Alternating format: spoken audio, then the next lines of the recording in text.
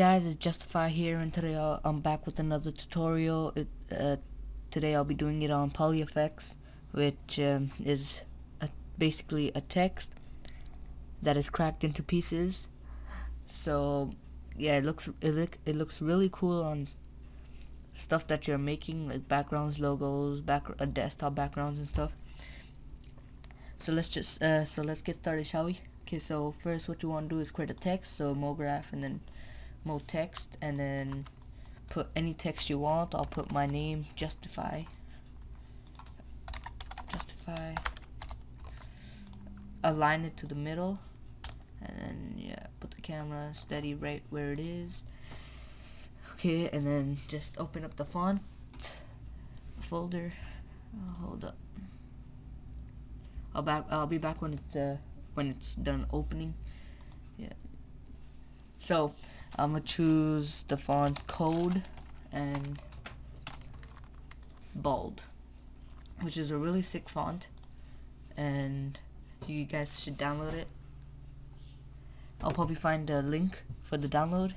So and I'll put in the description below. So yeah, first okay then, what you wanna do is go to caps start put that to fillet cap and then fillet cap and then put the radius to 2 and the end radius to 2 centimeters. So then if you want layers in the back it uh, which I think is really cool is just hold control and C like press C and then press V to paste.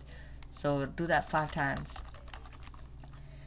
So when you have when you have five actually it's gonna be have uh, it's gonna have six text but like one two three four five six yeah?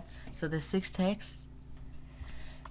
So and then click on MoText 1 and highlight it click hold shift and click on MoText 5 so it's gonna highlight these go to cap fill cap okay put the radius to 3 and end radius to 3 so it's gonna look all like you're gonna see it increase like the size bigger.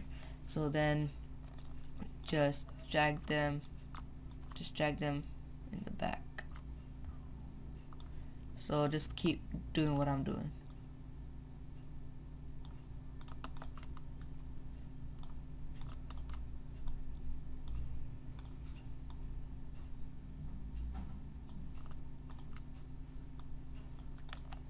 Yeah, so once you've done that, you could add color to it.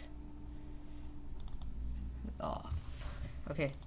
I'm gonna add color to it. I'm gonna put this to red uh, change this to object GI if you guys want to know how I did that just right uh, go over the material and right click and yeah you get all these options. So okay. Reflection put that to Fresnel and then I'll make another material. I'm gonna keep this white. I'll fail. White reflection Fresnel and then yeah. So the first uh, on the first text I'm gonna put white. So I'm gonna put it into a pattern.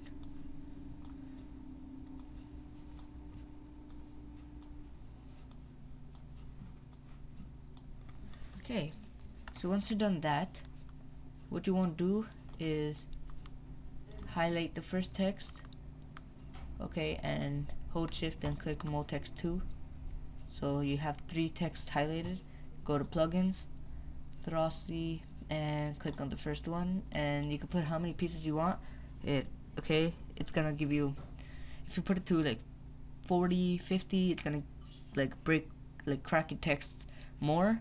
So I'm just gonna put it to 30 35 and we'll see how that looks. I'll pause the video and come back soon um, uh, soon when it's done rendering well cracking so when it's done cracking okay when you go to the text box right here it's uh, next to the text there, there's going to be an X. Just click that so a check mark can come uh, come up. So just do it to all of these.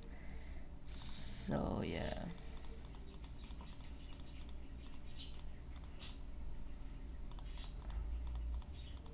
Okay so when you've done that go to MoGraph and you're gonna have an option over here.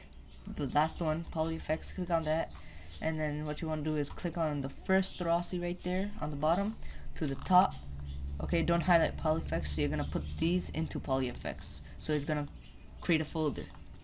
So then go to transform click on PolyFX go to transform and the s point x put that to 1.25 and then 1.05 then 1.25 or I think I did that wrong.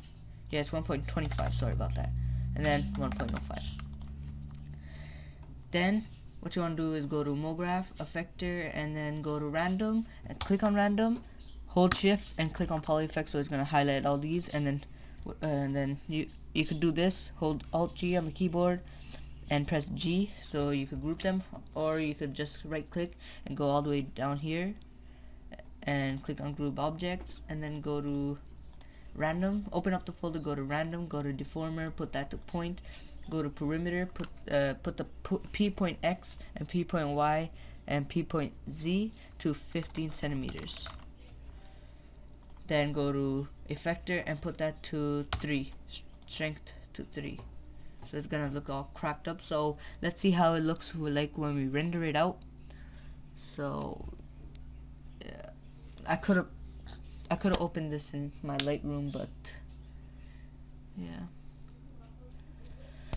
So when it's done rendering you're gonna see how it's gonna look all like professional and yeah. Yeah it, it's gonna look better if you had a Lightroom. And if you do have a Lightroom and it's and you're using it right now that's well that's great then because it's gonna look more like HD like more better looking than you see on my screen because I'm not using the Lightroom and yeah So let's uh, so just wait until it's done rendering.